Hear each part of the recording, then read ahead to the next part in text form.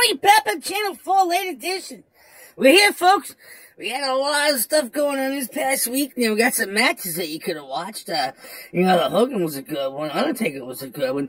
But the Royal Rumble with the females, oh, was a bond buster. Man, I got so far with her, and she, she just blew it. She just blew it. Anyways, uh, you know, Brock Lesnar was a good match there, you know. And then we did some of the, we did some online there against the Bloodline there with the, the stupid Uso guy there. What's his name? Ponytail there? The island. I'm an island boy! I don't know his name, but yeah, that guy's a villain. He's a piece of shit. I hope Brock Lesnar comes back, suplexes him, takes his belts back, you know.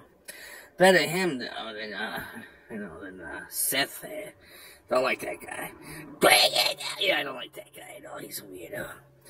Yeah, we're gonna go back to work today. It's Friday. Everybody be safe out there. Have fun. We gotta do some uh, high schools, I guess, today. We're gonna move out there. The bubble gums and the, the lockers and, uh, you know, the sex, sex, sex things they do there.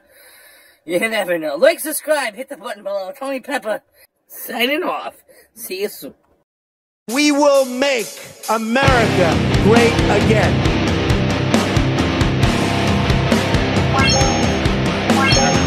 Back and forth, we're gonna miss not having anyone around as we're shooting.